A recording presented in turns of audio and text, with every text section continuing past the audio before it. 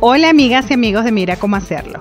Cuando Windows se lanzó inicialmente, por ejemplo Windows 3.11, se basó en gran medida en los archivos .ini para almacenar las configuraciones de los programas.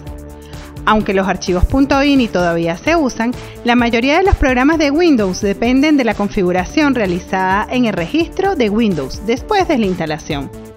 En este video te enseñaremos qué función tiene el registro de Windows.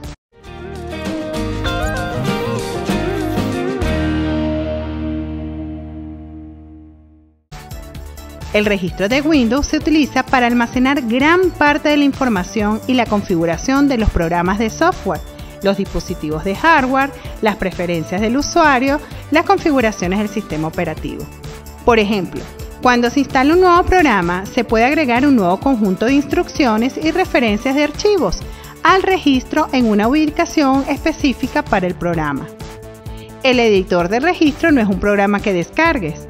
En su lugar, se puede acceder ejecutando regedit desde el símbolo del sistema o desde el cuadro de búsqueda o ejecutar desde el menú de inicio.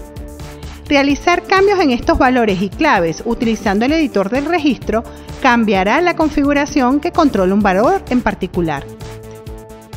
Y bueno amigos, no me queda más que despedirme y si el video les sirvió de ayuda, no olvides suscribirte y activar la campanita de notificaciones para que te enteres de todos nuestros videos.